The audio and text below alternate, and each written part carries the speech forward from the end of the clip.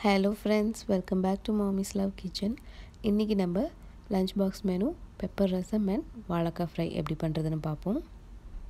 வாழைக்காவை எடுத்து இந்த மாதிரி தோல் சீவி வச்சுக்கோங்க.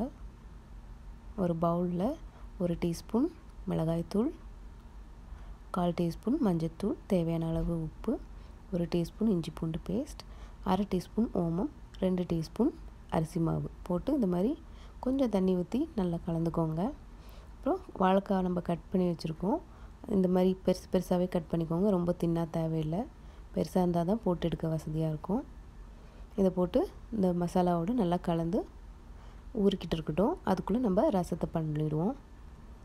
இப்போ ஒரு மிக்சியில் ரெண்டு டீஸ்பூன் பெப்பர் ரெண்டு டீஸ்பூன் ஜீரகம் ஆறு பல் பூண்டு கொஞ்சம் கருவேப்பிலை இது வந்து கொத்தமல்லியோட தண்டு. உங்களுக்கு வேணும்னா போட்டுக்கோங்க இல்லைனா வேண்டாம் விட்டுருங்க. இது வந்து கொஞ்சம் குறை குறைன்னு அரைச்சி வச்சுக்கோங்க. இப்போ ஒரு பேனில் ஒரு டீஸ்பூன் ஆயில் கடுகு அப்புறம் கொஞ்சம் பெருங்காயம். இப்போ நம்ம அரைச்சி வச்சுருந்தோம் இல்லையா ரசத்துக்கு அதையும் போட்டு நல்லா வறுத்துக்கோங்க. அரை டீஸ்பூன் மஞ்சத்தூள் போட்டு திரும்ப நல்லா கலந்து விடுங்க அந்த வாசனை போகிற வரைக்கும். ஒரு அரை தக்காளியை கட் பண்ணி வச்சுக்கோங்க. அதையும் போட்டுடலாம். அப்புறம் ஒரு லெமன் சைஸ் புளியை கரைச்சி வச்சுருக்கேன். நெக்ஸ்ட்டு அந்த தண்ணியை ஊற்றுறேன்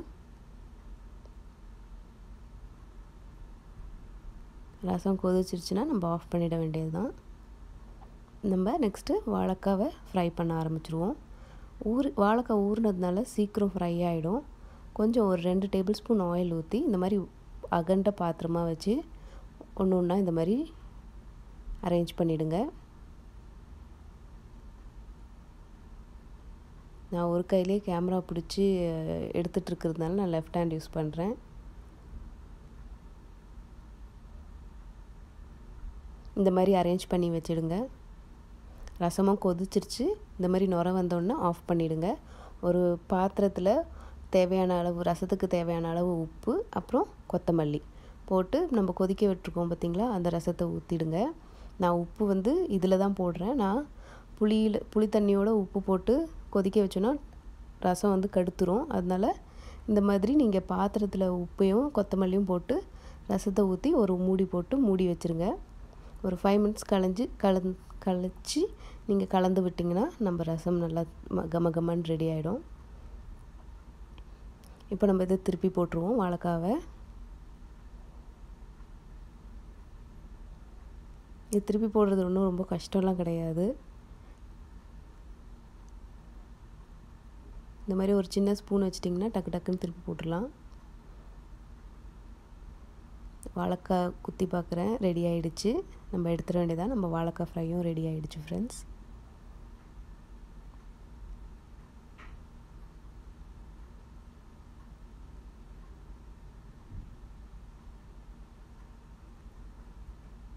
நம்ம வாழைக்காய் ஊற வைக்கிறதுனால ரொம்ப குயிக்காகவே ரெடி ஆகிடும் நம்ம ரசமும் ரெடி ஆகிடுச்சு உங்களுக்கு இந்த ரெசிபி பிடிக்கும்னு நினைக்கிறேன். செய்கிறதுக்கும் ரொம்ப ஈஸி இந்த ரெசிபி பிடிச்சிருந்துச்சின்னா என் சேனலை லைக் பண்ணுங்கள் சப்ஸ்கிரைப் பண்ணுங்கள் ஷேர் பண்ணுங்கள்